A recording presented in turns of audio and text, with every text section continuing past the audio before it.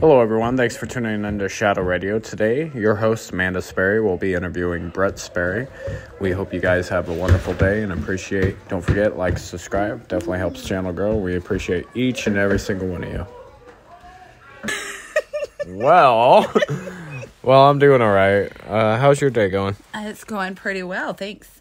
Um, so, uh, what really sparked your interest with spirits?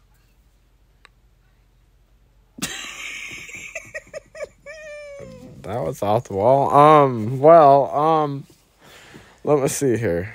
When I was a child, I had several experiences, and that's what really sparked my interest, I guess, per se, with spirits. Uh, more or less, it was less like I was at places that had a lot of history to them, I should say. And um, I seen things that I couldn't explain and other people had also had sort of the same same things happen you know? So i've always sort of been around around i guess per se spiritual activity i guess is the best word for So it. basically, you grew up in and or around it, so to speak. yeah Okay. pretty much. Like i've always just been just been around it you know? Um That's i really just interesting. right? I feel like I feel like, you know, when I got older, I just felt like, you know, that connection instead of it just wearing away, it just sort of stayed and lingered. Wasn't as strong, you know, Yeah, I do. I really because do. because with age it seems like it seems like you're no you're able to notice things differently and perception wise Mm-hmm. as a child compared to an adult. You know. And so those things that you experience as a child, you experience as a teenager, you experience as a grown grown adult. Three Yeah. people could experience the thing and in the end the same thing and in the end have different experiences on the outcome. Yes, they can. Very true. So, So about. so uh, what got you started with uh, mystical shadows? Oh yeah. Um well, my wife actually, obviously. Uh we we talked about it previously and we just decided at that moment in time we thought it would be in our best interest to actually go forth and try to capture what we're able to find at places and see if they truly are haunted or if it's just a hoax or something along those lines debunk it and you know more or less figure out the history of the location make sure that all the facts are in place and Right. we we decided to start the group in order to seek the truth to whether or not to whether or not spirits and demons and things like those exist and um we can you know Um, so like, who are part of mystical shadows? Four hundred two, please. Um, well, we have a pretty decent sized group behind the scenes. Um, a lot of supporters. What it comes down to is family. We uh we like to stick with family, just because it's all it's all a good source. You don't have to worry as much. I feel like, without having certain people involved. I just right now it's me and Trey.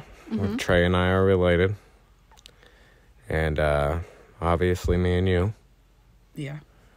And you know, with Will, she's my she's my foster sister. She's she's also related.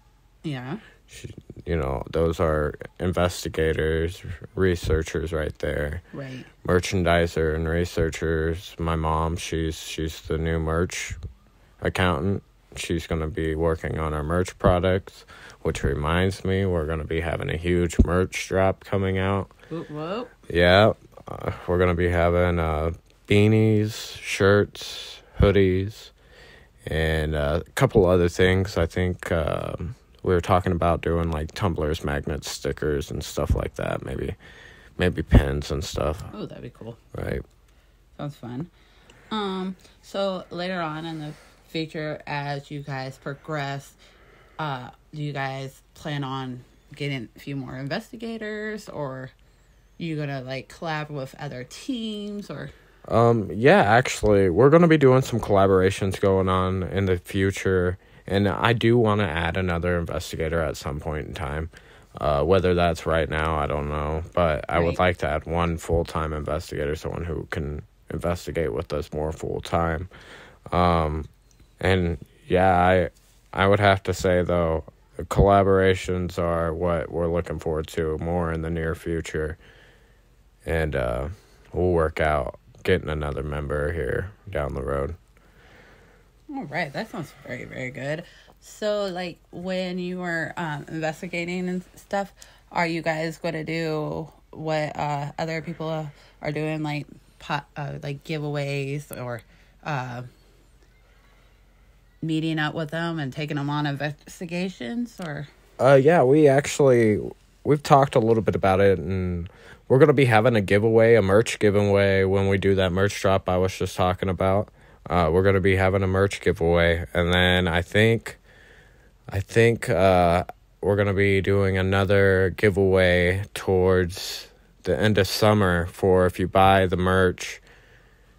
You'll be able to enter your name into a drawing to go on an investigation with us overnight at a haunted location. that sounds nice.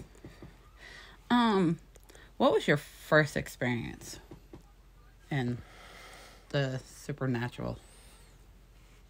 Okay, so I don't I don't know if I had an experience before this experience, but this is my first experience that I 100% remember. Okay. And I was probably 7 8 years old. I was out at my aunt's farm in Nebraska and it happened to be a farm that was in our family for a while. And uh, I was in my cousin's room, and at the time, I think she was babysitting, but she wasn't in the room, and I was going to bed. It was nighttime, you know. Yeah. And uh, I'm laying in bed, and I look over towards the closet. You know, every every kid is afraid of the dark or has something that Yeah. you know that creeps them out. You know, and so I looked over towards the closet because I thought I heard something. And I put the blanket above my head, okay? And at this moment in time, she's either downstairs in the living room or she's outside. Okay. Okay. And my aunt's probably sleeping or something, you know. Yeah. Like everyone's asleep or outside or in the living room. You know, no Right. one is in that closet. So, Right. blankets over my head. And a couple minutes, a couple minutes probably pass, and I slowly start to peek out. Maybe, maybe a minute or so. Slowly start to peek out of the blanket, and uh, you know, didn't notice anything. So I just sort of snugged back down, and I'm laying there for a second, and I feel some pressure on the end of the bed.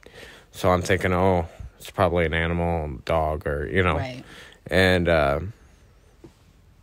uh, it was uh, apparition when I